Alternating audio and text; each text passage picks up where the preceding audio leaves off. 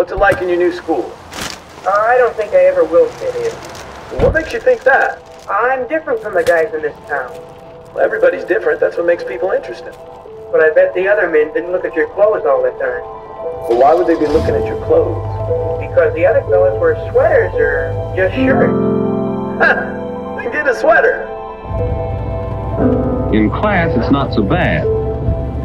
But when school's out and the others go off to enjoy themselves, well, if you're what they call a shy guy, that's when you really feel it. You don't know how to make people like you, and you find yourself holding a grudge against them. You're standing on the outside looking in. There's a barrier, and you don't know how to begin breaking it down.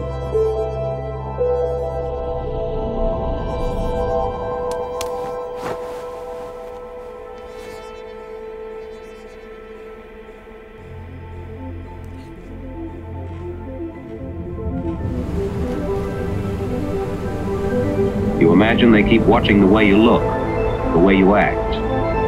They think you're different. So you head for home. But still, you can't forget that you're alone.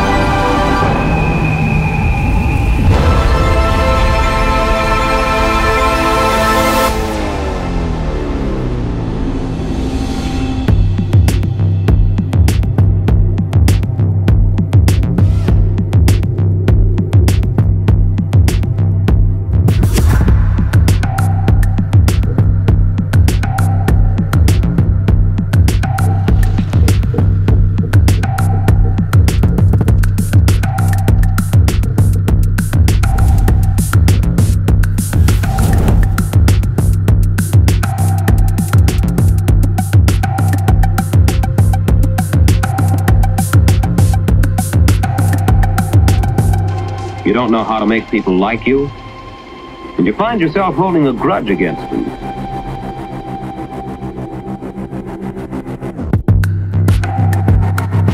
You're standing on the outside looking in. There's a barrier, and you don't know how to begin breaking it down.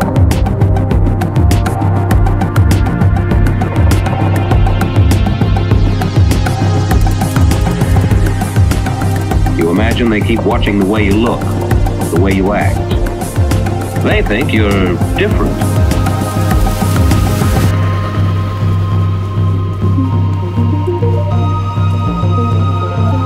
But still, you can't forget that you're alone.